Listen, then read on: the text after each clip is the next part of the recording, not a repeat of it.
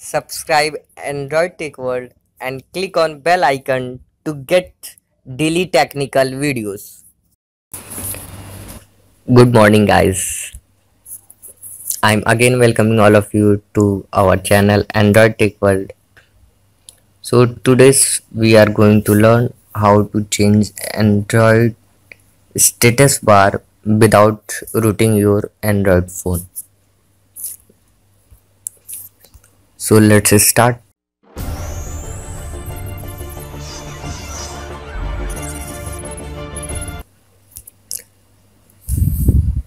Firstly, open Play Store and search status.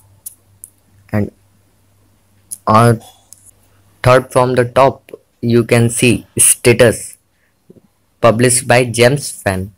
So install this app as you can see I already installed this app. Now we have to open the app. In setting this app it takes some time. You can follow me to set up this app. Firstly click on grant access and it will redirect to your accessibility and here you will see option status service. Turn it on and go back.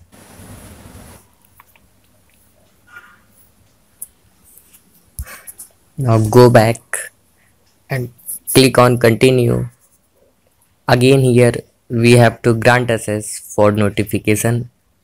So turn it on and go back and again click on continue. Here you can see the third step additional permission also grant it it click on allow to grant.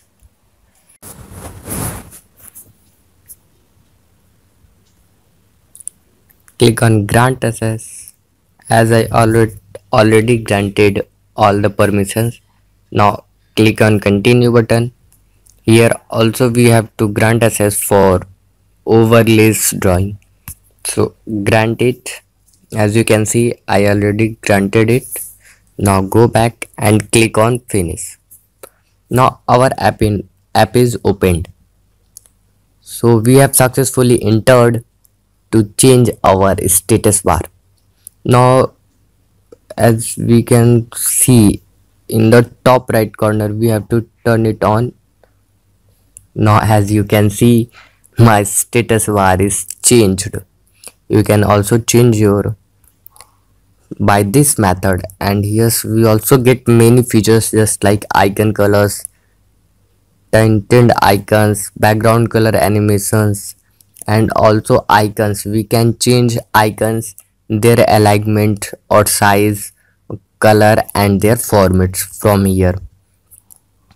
And must remember that we are doing this everything without rooting our phone. There is no need to root our android phone. And here we can set per apps notification setting and their colors for notification.